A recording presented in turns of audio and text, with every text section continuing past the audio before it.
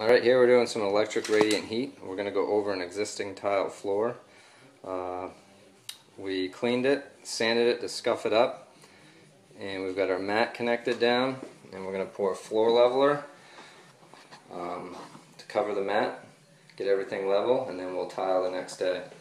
So we've got our mat laid right down the center, we've got our wires going up, one thermostat and one the power, and it'll be coming right up in this wall here uh, to a programmable thermostat. And uh, this will throw about 95 degrees on the floor.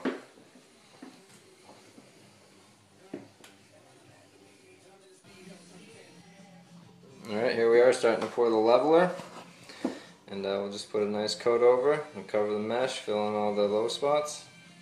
Be ready for tile.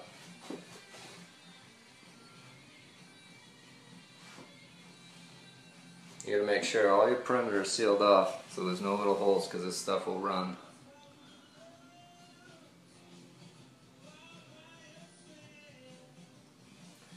It's a dry mix, mix up with water, pour it down and it seeks level on its own.